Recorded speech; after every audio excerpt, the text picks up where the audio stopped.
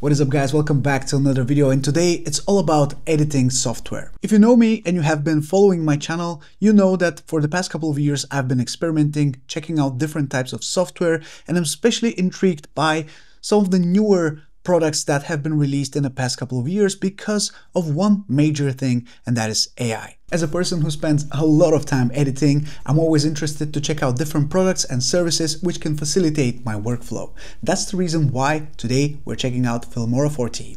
Wondershare is sponsoring today's video and the curious thing is that four years ago I checked out Filmora 9 so I'm really curious to see after all these years, how much the software has developed, what new features, what new improvements we can see in Filmora 14. So let's get right into it.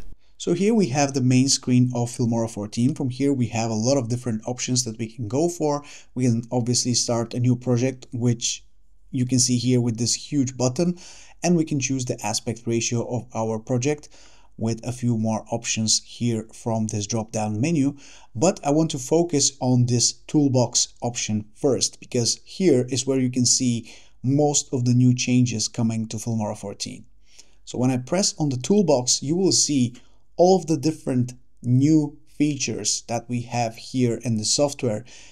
And as you can see, most of them, maybe 90% of them have this little AI tag in the top right corner. We'll focus on a few of them because they are quite interesting. So let's quickly start a new project and I'll import some footage to show you some of the features that you can use. So here I have some drone footage that I imported to the project and now what we can do is use AI to generate some background music for it. So if we see this button here, we can press it and now software is analyzing the video content and is generating some background music that will work well with this specific footage.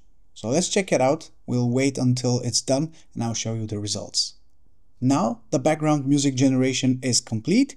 We have an audio track here which we can go and check out.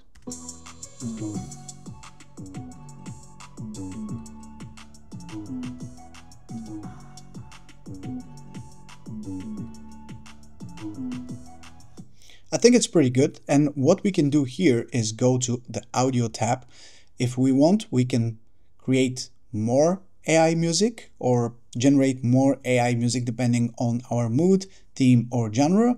Or we can go to AI sound effects and generate a sound effect by just describing what we need. So, for example, I've already played with it and we have a whoosh uh, sound effect, which is something that we use a lot in the drone videos. And we every single time you want to generate a sound effect, you get three different options. So it's up to you to pick one.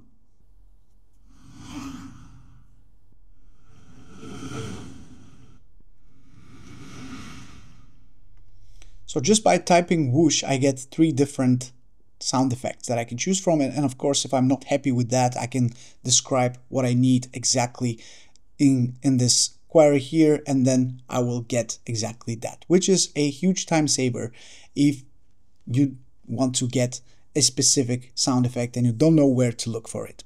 Since those videos are not graded, what we can do here is go select the video, go to the video tab, we can press on auto enhance and that will automatically enhance the footage a little bit by applying some contrast and some saturation. But if we want to dig a little bit deeper, we can go to the color tab, we can add a LUT. We have a lot of built-in LUTs that we can choose from. And of course, we can um, decide what type of intensity we like. So let's say I like this one, the D-Log 709 style.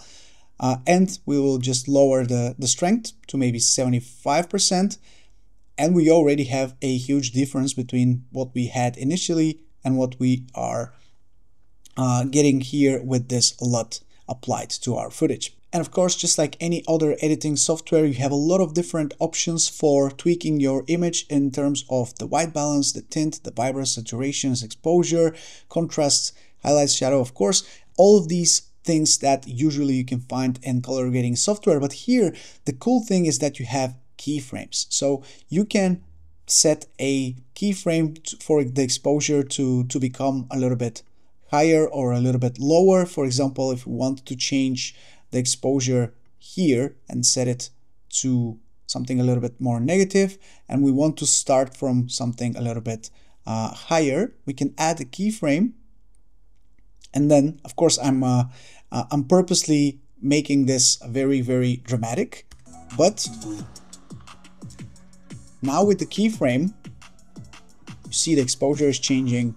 Uh, and this is extremely cool if you are editing footage that goes from dark to, to bright and you want to be able to, to very, very carefully grade it in a way that saves the details uh, from becoming too bright or too dark. You can set those keyframes and play with that and really adjust your footage to your liking. The next thing which I want to show you in Filmora 14 is how to easily generate subtitles from your existing videos. This is extremely common nowadays when posting TikToks and shorts and reels. And if you want to quickly take advantage of creating automatic subtitles, this is the feature. So you simply need to put your video on your timeline and then go to speech to text. So when we press it, we have a few options here. We can auto detect the language, which I will do. I don't, I don't want to tell the software that I'm speaking English. I'll let it uh, figure that out by itself. We can translate this speech that the software detects, but for now we will not translate it. We'll keep it to English.